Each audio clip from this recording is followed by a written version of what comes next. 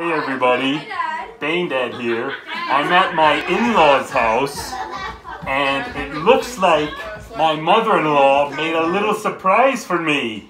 She's got a whole bunch of hard-boiled eggs, which are high in protein, which builds muscles. I'm gonna go grab some right now. Come on. Excuse me, family.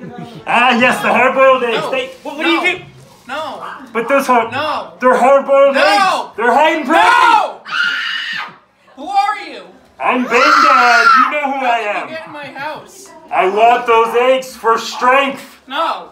What? What are you doing with them? Coloring! Oh, We're hey, no, that's mine.